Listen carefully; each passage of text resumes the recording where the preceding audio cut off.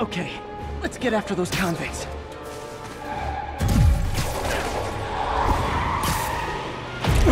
Great! Now we got Spider-Man to deal with!